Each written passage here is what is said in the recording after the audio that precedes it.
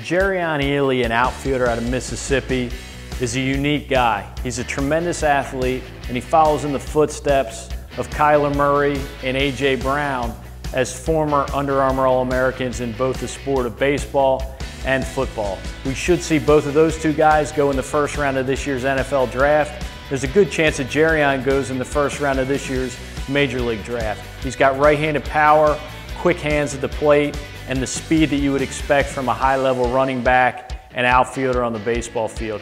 Jerrion impacts the game in a lot of ways, and there's a lot of upside still to go with him as he continues to mature and develop.